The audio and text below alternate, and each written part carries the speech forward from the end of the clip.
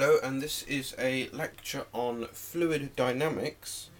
As I've got an exam for that coming up, and I really don't like it, so I'm hoping to get a lot of videos to, to help me on that.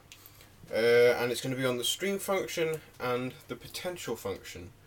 And we'll have just a little easy example on the stream function because they can be a bit too complicated, and I think this is a bit simpler.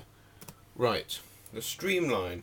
Streamlines are like this diagram here, it's the flow of the of the liquid, the direction it's going in. So it's uh, the lines are tangent to the velocity.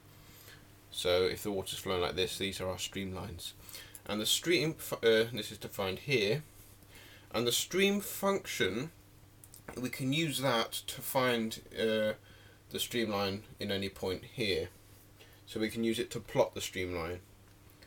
Uh, to find it, we first we have to get phi and it's only you can only find it if the divergence of u is zero. Now u is our function or so it's in two variables of u and v and we let v equal minus phi uh, differentiated with respect to x and u equal phi uh, differentiated with respect to y.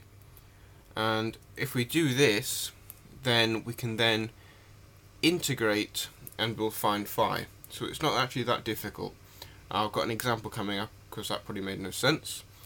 Uh, right, and once you've done this, then it should work so that the velocity is v differentiated with respect to x minus u differentiated with respect to y and this will equal here. So that should be correct if it's worked.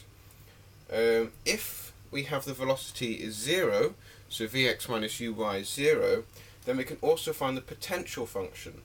And this is defined here as u is, is that uh, grad psi, and here it's quite simple from here that we just let u equal psi x and v equals psi y.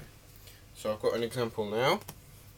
Uh, here we've got our function u in form of u and v. We've got u is 26xy and v is minus 13y squared. Now it's a simple example I've made so you can probably see where it's going. Uh, right, we want to find the stream function if it exists. Now first to see if it exists we need to check that the divergence is 0.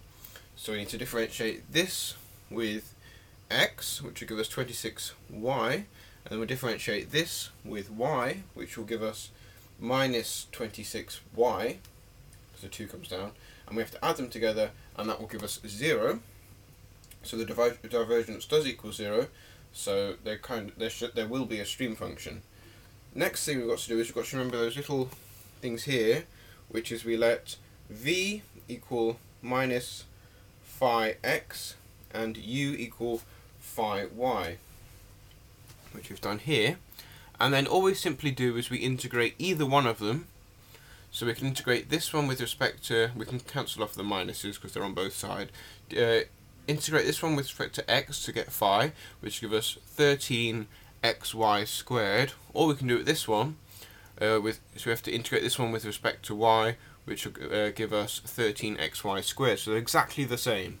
So we can do either one of them, and that gives us our function here, phi, equals 13xy squared. And we can also check that in this example there is no potential function as w, the velocity, does not equal 0. Because remember w is vx minus uy. So if we do vx, which will be 0, and uy, which will be 26x, then obviously they do not make zero. I hope that made sense.